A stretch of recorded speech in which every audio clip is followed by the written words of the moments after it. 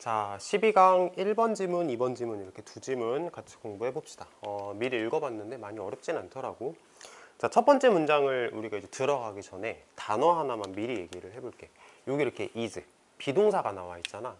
어, 비동사가 가지는 의미 중에 뭐 비동사는 여러 가지 의미가 있어. 근데 그 중에 어떤 의미가 있냐면 이런 뜻이 있습니다. 존재하다. 이걸 조금 생소하다라고 느낄지도 모르겠어. 그래서 실제로 예문을 만들어 보자면 I am 하고 문장이 끝나잖아. 그러면은 나는 존재한다. 이렇게 해석을 합니다. I am 나는 존재한다. 실제로 그런 노래도 있지 요즘에. 자 해석을 해볼게. Our beliefs about the emotion. 자 감정에 대한 우리의 믿음은 뭐뿐만 아니라 어디 갔어? But also. 뭐뿐만 아니라 뭐이기도 하다. 이렇게 해석을 할 건데 감정에 대한 우리의 믿음은 묘사할 뿐만 아니라 무엇이 존재하는지, 그치? 무엇이 존재하는지 묘사할 뿐만 아니라 whether in fact or myth.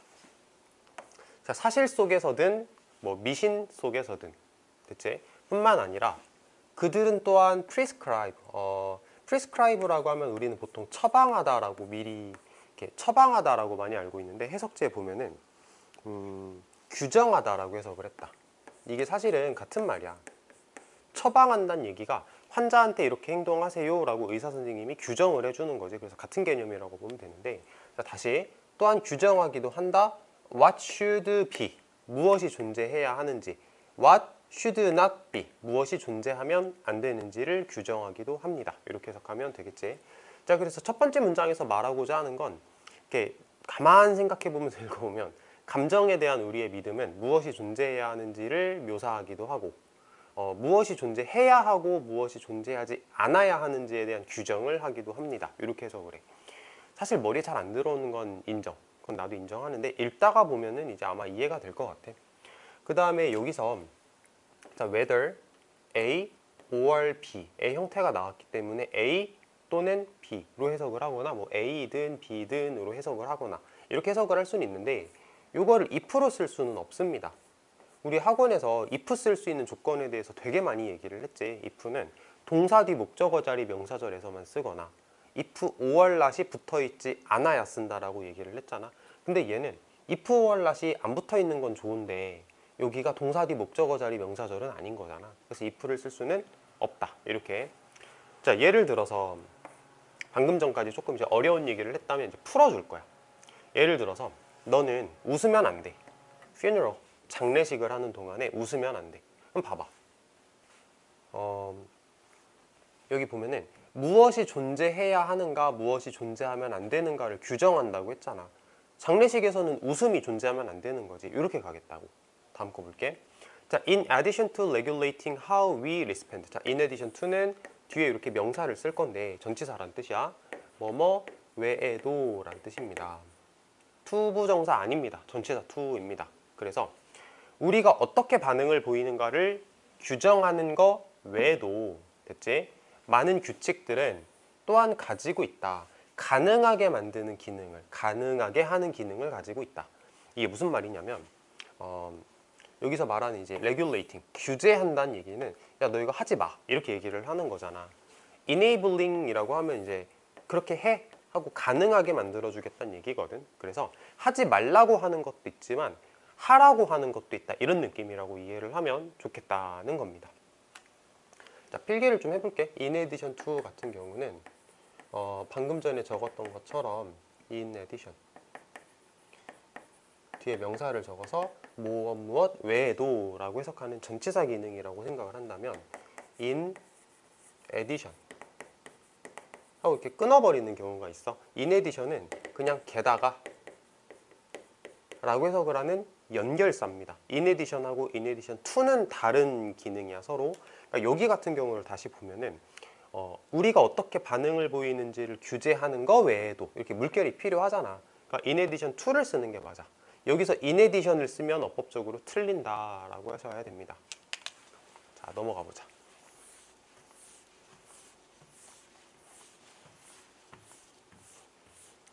자, 계속 읽어보면 To illustrate with a non-emotional example 자, non-emotional이면은 감정적이지 않은 정도로 이해를 해보자 감정적이지 않은 예시를 가지고 묘사하자면 묘사하자면 rules of grammar 어법 규칙들은 그래마가 어법이지 어법 규칙들은 규정합니다.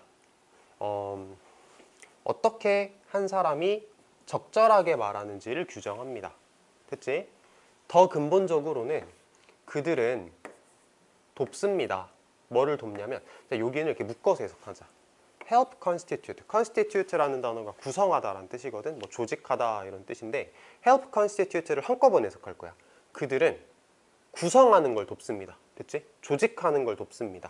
언어를 어떤 언어를 지금 말 되어지는 언어를 구성하는 걸 돕습니다. 이렇게 해석할 수 있으면 좋겠다라는 거. 어법적으로 봤을 때 이건 이제 주격관대 플러스 비동사기 때문에 이렇게 생략할 수도 있어. 생략하면 이렇게 되겠지. language spoken 이렇게 바꿀 수 있다라는 거 알면 좋겠고 혹시라도 이거 단어 모르는 사람 있을까 봐. properly라는 단어는 proper라고 하는 형용사에서 출발을 했을 거야. 적절한이라는 의미를 가져.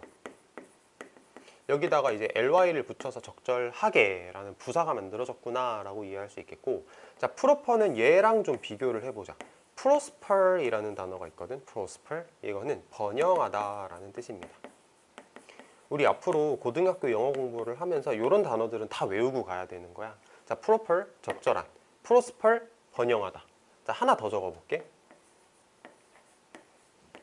Adequate라는 단어가 있어. Adequate 얘가 적절한이란 뜻이야.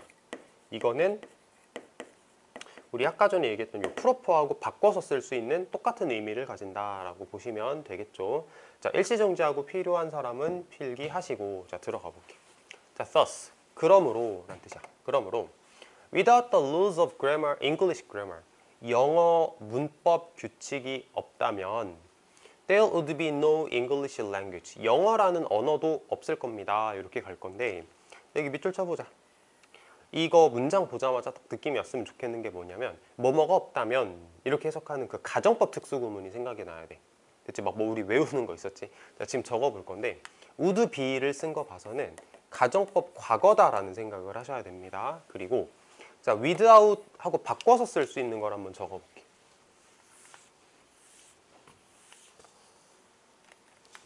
자 뭐뭐가 없다면 자, 뭐뭐가 없다면 첫 번째 저기 있는 without 그 다음에 but for 됐지? 자, 그 다음에 세 번째 if it were not for 자, 어디를 주목해서 보냐면 어쨌든 지금 말하고 있는 건 가정법 과거어법이기 때문에 이렇게 과거 동사를 썼다라는 걸 주목하시면 됩니다. 그 다음에 마지막으로는 if 지우고 도치시킬 수 있어. 그래서 were it not for 이런 식으로 써셔도 됩니다. 그래서 다 똑같은 기능 할 수 있다. 요 자리에 들어갈 수 있다. 외우시면 됩니다. 자, 마찬가지로 without the rules of anger, say. 자, say는 뭐 말하자면 예를 들어서 정도라고 이해를 하면 되는데 분노의 규칙이라는 게 없다면 분노라고 하는 어떤 규칙이 없다면 어, 분노가 없을 거야.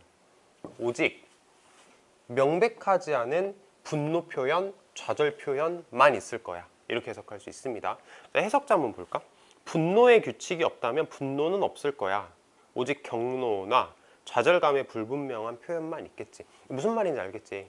그러니까 마치 영어의 어법이라는 규칙이 존재하니까 영어가 있는 것처럼 분노라고 하는 것도 분노를 표현하는 규칙이라는 게 있기 때문에 그 분노라는 게 있을 거야. 이해돼? 다시 한번 얘기해 볼까? 자, 우리가 일반적으로 화났다라는 걸 표현할 때 어떻게 표현을 해? 예를 들어서 뭐 얼굴이 굳어진다거나 아니면은 뭐 목소리 톤이 어떻게 된다거나 뭐 얼굴이 새빨갛게 변한다거나 하는 그런 어떤 공통적인 것들이 있지. 글쓴이는 그거를 규칙이라고 보는 거야. 화났을 땐 이렇게 하는 게 규칙이야. 그러니까 너가 화났을 땐 그렇게 하면 돼. 그게 화남을 표현하는 규칙이야. 이런 게 세상에 존재한대. 근데 만약에 그런 규칙이 없으면 내가 화났다는 걸 어떻게 표현할 거야? 애매하게 표현하겠지. 뭐 막, 막 뭐 어떻게 몸부림을 친다거나 그냥 애매하게밖에 안 되는 거잖아. 그러니까 감정을 표현하는 규칙이라는 게 있기 때문에 그 감정을 표현할 수 있는 거야 라고 얘기를 하는 글입니다. 어, 되게 재밌는 글이네. 자 여기 마찬가지야. 가정법 과거지. 그래서 똑같이 요 with out을 이렇게 바꿔서 표현할 수가 있고 내가 출제자면 이거는 무조건 돼. 학생들이 이거 아마 공부해올 거라고 학교 선생님들도 아실 거야. 그리고 이거 문제 내야겠다라고 생각을 하실 거야. 근데 만약에 안 나온다. 그럼 왜 안 내? 내가 평소에 많이 하는 얘기 있지. 이거 니네 다 공부해왔지? 응, 안 낼게. 이러고 안 내시는 걸 거야. 이거는 나오는 게 맞아. 공부 꼭 잘 하시고 틀리면 안 됩니다.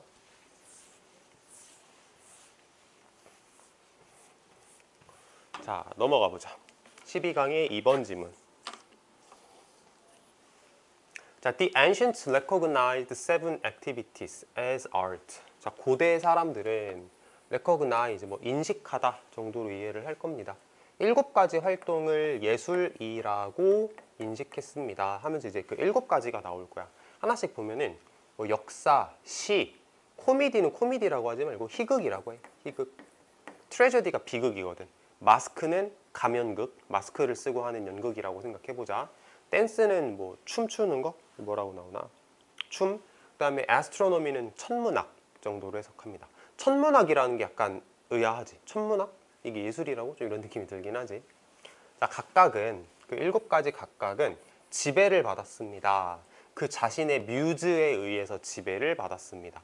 사실 이 뮤즈라는 게 한글로 딱 이렇게 표현을 하기가 애매한 단어기는 해. 실제로 밑에 해석을 봐도 뮤즈라고 그냥 나오거든. 그러니까 그 뭐랄까 그 활동을 관장하는 신 이렇게 생각해도 괜찮을 것 같고 아니면 그 활동을 하는 사람들한테 영감을 주는 존재 뭐 그거에 대한 어떤 신 이런 거 이해를 하면 될 것 같은데 그냥 가자. 자 각각은 그 뮤즈에 의해서 통치를 받았어.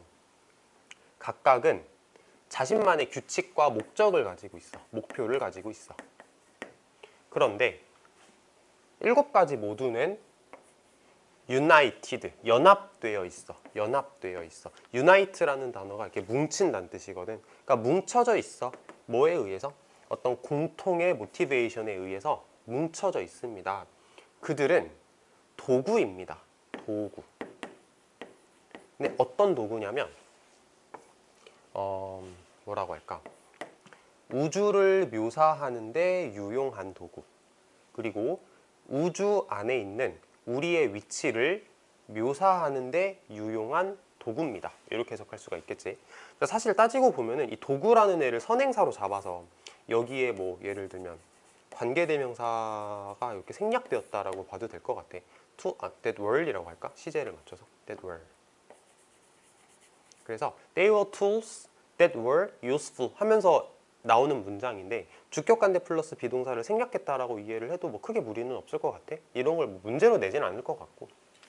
자, they were methods of understanding the mysteries of existence. existence는 존재라는 뜻입니다. 자, 그래서 그들은 그들은 어, 존재의 존재에 대한 미스테리를 이해하는 방법입니다. 그리고 as such 그러므로 as such 그러므로 그러므로 they themselves 그들 자체는 the aura 우리 아우라라고 하지. 아우라가 요거야. 기운이야. 어떤 기운 어떤 에너지 그 사람이 뿜어내는 기운 이런 거 생각하면 되거든. 그래서 그러한 미스테리의 아우라를 가지고 있다. 이렇게 생각하시면 되는 문장. 됐지?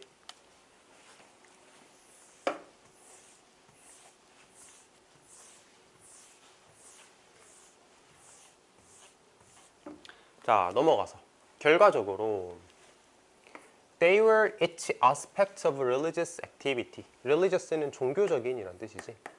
종교의란 형용사지. 그러니까 종교적인 활동의 종교 활동의 각각의 측면이었다.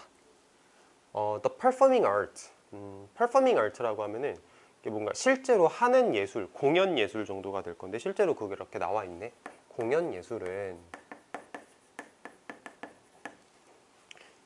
공연 예술은 celebrated ritual이래. 어, celebrate라는 단어를 우리가 보통은 뭐 축하하다라고 많이 해석을 하는 그런 단어긴 한데 이거는 의식을 행하다라고 할게. ritual이라는 단어가 의식이거든. 그러니까 의식을 행하다 이렇게 해석을 합니다. 다시 해볼게. 공연 예술은 의식을 행한다. 의식을 행한다. 또 역사는 기록하고 있다. 인종의 스토리를 인종의 스토리를 여기서 말하는 race가 음, 인종보단 종족으로 해서 그랬네. 종족의 스토리를 기록을 하고 있다. 또 천문학은 search 이렇게 막 찾아 뭐를 찾아 heaven heaven이라고 하면 보통 뭐 천국 정도의 뜻이지. 어, 천체라고 해서 그랬네. 그치 천체. 천국이라고 해석하면 말이 좀 이상하다 싶었어. 천체를 뭐 탐구한다, 연구한다 이런 의미.